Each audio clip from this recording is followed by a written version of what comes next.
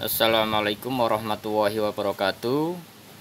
Selamat datang di channel kami Jambi Motor Group.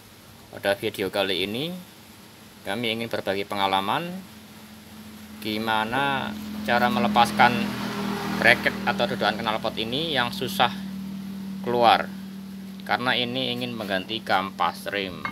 Ada kalanya mudah ini dikeluarkan Ada juga yang susah. Susahnya kenapa?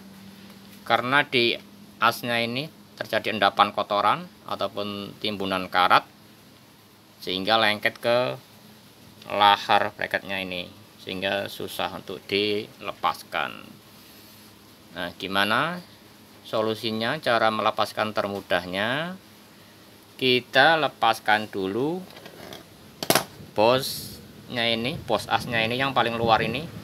Kita keluarkan dulu ditarik dengan tang lancip kita keluarkan posnya tadi. Setelah itu disusul dengan silnya ini. Kita keluarkan. Setelah kedua spare part tersebut keluar kita semprotkan dengan cleaner atau WD atau sejenisnya lah ke asnya tersebut. Sehingga kotorannya ini sedikit akan melunak setelah semprot kita pukul rodanya bagian sebelah kiri sini dengan martil dilunasi dengan balok kayu.